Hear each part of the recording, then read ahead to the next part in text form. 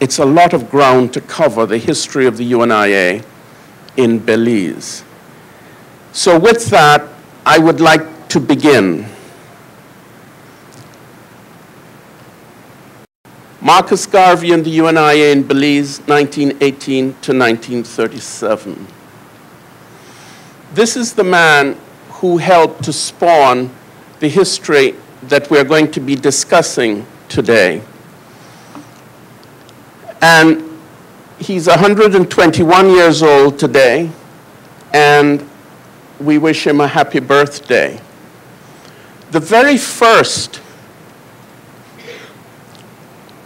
intimation that the UNIA had reached Belize comes in a document, a letter from Marcus Garvey to a man called D.B. Lewis living in Corozal, British Honduras. I was asking the minister when we met on Friday night, tell me about Corozal. Why would Garvey have discovered a man living in Corozal? And look, the letter that Garvey wrote is November the 1st, 1918. Do you know that this is the first document describing a connection between Garvey in America with the Caribbean? Took place here in Corozal in British Honduras. Now, all of this gibberish is because the US military censors took the letter out of the mail because it's still during World War, nearing the end of World War I. And here is what Garvey, according to the censors, report. The writer encloses 12 copies of an appeal to the racial instinct of the Negroes, calculated to incite hatred for the white race by urging them to do like, quote, the Irish, the Jews, the East Indians, and all other oppressed peoples who are getting together to demand from their oppressors liberty, justice, equality. And we now call upon the 400 millions of Negro people of the world to do likewise. Close quote. Also informs addressee that he sent to him 50 copies of the Negro World, that's Garvey's newspaper, which had only just begun to be published, and will send him 50 copies per week and wants a addressee to do everything to help the movement at addressee's end so that they will have a very strong branch in British Honduras in a short time. I say again, this is the first indication of outreach on the part of Marcus Garvey to any group in the West Indies. Now, how did Marcus Garvey know about a man called Lewis in Corozal? I don't know. Do you?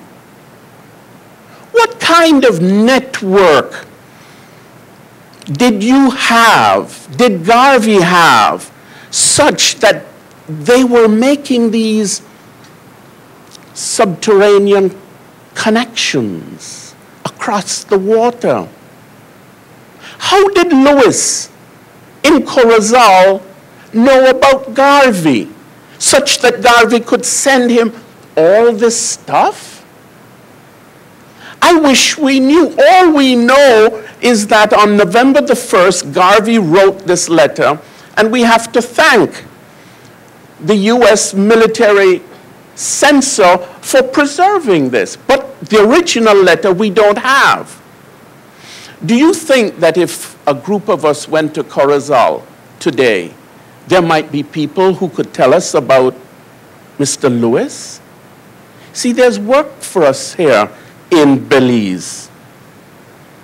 There is Corozal sitting way up there in the north. The UNIA is up there before it gets down here to Belize and Stann Creek. Now, This is a letter from the then acting governor of Belize, dated February 15th, 1919. Sir, I have, he's writing to Rufus Isaacs, the English ambassador to the United States. I have the honor to invite Your Excellency's attention to the enclosed copy of a paper entitled The Negro World, which has been finding its way to the colony. The object of the paper appears to be to incite racial hatred, and I should not be surprised if the paper was supported by German or Bolshevik money. In other words, between November, when Garvey dispatched the 50 copies of the Negro World, November, December, January, and the middle of February, the colonialists discover that there is in the midst of this society a newspaper called the Negro World in circulation. Now, he says on the 17th, a follow up letter written again to the English ambassador in Washington Sir, in continuation of my confidential dispatch of the 13th of February regarding the Negro World newspaper, I have the honor to draw special attention to the issue of that paper dated October the 26, 1918, which contained the following in large type. And this is what hit the colonialists in a way they had never anticipated. And here is what Marcus Garvey said. Arthur J. Balfour of England says the German colonies, meaning the German colonies in Africa, should not be returned to Germany I agree. Let Balfour know that England shall not have them. They neither belong to England nor Germany. They are the property of the blacks. And by God, we're going to have them now or sometime later, even if all the world is to swim. What is that word? in blood. I can't get, the world can't be free. Oh, half the world can't be free and half slave. Marcus Garvey. Can you imagine what these colonial officials in Belize, British Honduras as it then was, reading this stuff and realizing that people here are disseminating this stuff? This is madness. The next governor, the, the next official is Governor Eyre Hudson, who would be the governor here from 1919 through 1925. Now, this takes place in the immediate aftermath of the riot, the famous Belize riot it's the greatest riot of the interwar years between World War I and World War II. The riots of 1937 and 38 in St. Vincent, Barbados, Trinidad, and Jamaica, and St. Lucia. Those were major riots. But until that time, the Belize riot of July 1919 is the largest in the entire Caribbean. It was so large that the governor and the chief justice had to seek refuge on a boat in the Belize harbor because they feared the blacks were taking over the, likely to take control of the city of Belize. Here is Governor Hudson, my lord, this is to the, Milner, the colonial secretary, referring to my secret dis dispatch of 30th instant on the subject of the recent riots in Belize and subsequent events, I consider it advisable to address your lordship separately on certain subjects re referred to in that dispatch. I wish, and it will be for your lordship to decide whether or not it should be published. I offer no objection to that procedure and that it may be edited before publication as you may consider advisable. Among the subjects that Governor Hudson will bring up is the impact of the Negro world. The third grievance put forward was one felt by the townspeople, viz., the suppression by Mr. Walter, acting governor in January last, of an American newspaper, The Negro World. I enclose a copy of the newspaper referred to, which was believed to be under German influence and a part of their propaganda. Mr. Walter reported to me his action soon after my arrival, and he showed me the correspondence with His Britannic Majesty's ambassador to Washington, which I have now shared with you. In conclusion, I cannot too strongly impress upon your lordship the necessity for giving the white population of Belize, and in fact of the whole colony, protection by European troops or by the Navy for some time to come. If this is withheld, I must record respectfully that I cannot be responsible for the consequences.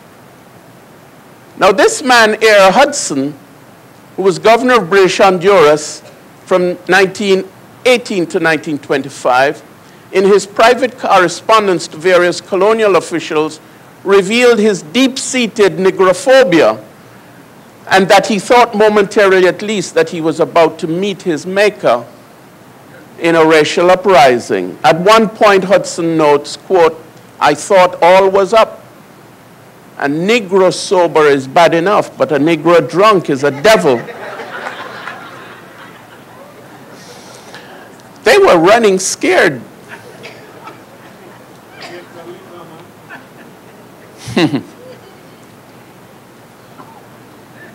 we had put the fear of hell in them.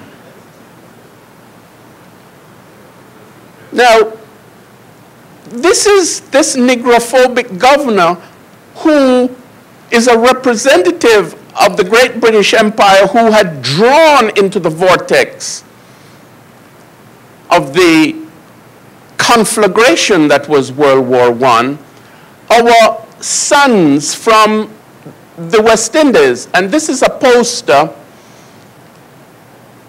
a recruitment poster for members of the recently formed British West Indies Regiment. These are some of our sons who went to fight in the great conflagration of World War I. This is actually at the dockside here in Belize, people coming to say goodbye to the young men, our boys who were going abroad to join the troops. This is Jamaica, the volunteers going off to fight for crown and empire. This is a wonderful photograph of a young man who had joined the regiment. 15,600 men of the British West Indies Regiment served with the Allied forces. Jamaica contributed two thirds of these volunteers, while others came from Trinidad and Tobago, Barbados, the Bahamas, British Honduras, Grenada, British Guyana, now Guyana, the Leeward Islands, St. Lucia, and St. Vincent. Nearly 5,000 more subsequently volunteered to join up. So roughly 20,000 West Indians from the entire English-speaking West Indies, or the British West Indies, as it was called, went to fight against German troops in World War I. Now, why have I brought this up? For two reasons, as you will see.